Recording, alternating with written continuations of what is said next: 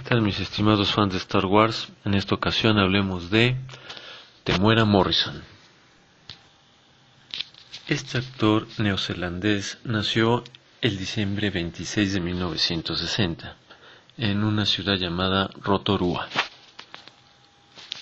Y ha interpretado en básicamente dos categorías sus papeles en Star Wars. Una de ellas es videojuegos y la otra es en películas. En videojuegos tenemos que hizo Los Soldados Clon en la versión de 2004 de Battlefront, hizo a Delta 38 en Republic Commando del 2005, en Star Wars Battlefront 2 en la versión de 2005 hizo como un oficial de la República, como Jango Fett y como Boba Fett.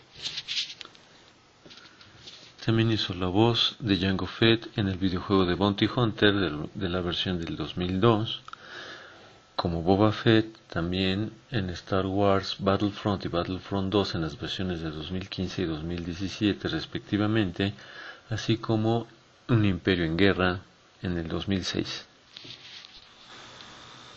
Para la parte de las películas, pues hizo Los Clones en el ataque de los clones, en la venganza de los Sith, hizo Jango Fett en el ataque de los clones y al comandante Cody en la venganza de los Sith.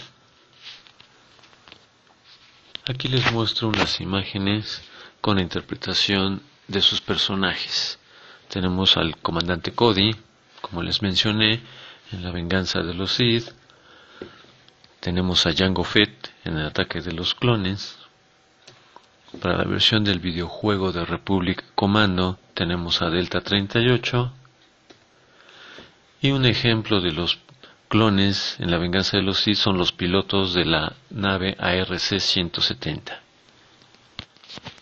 Fuera del universo de Star Wars ha salido ya en DC Comics, la película de Aquaman y de Linterna Verde, y también ha tenido otras apariciones en otras películas y también en miniseries.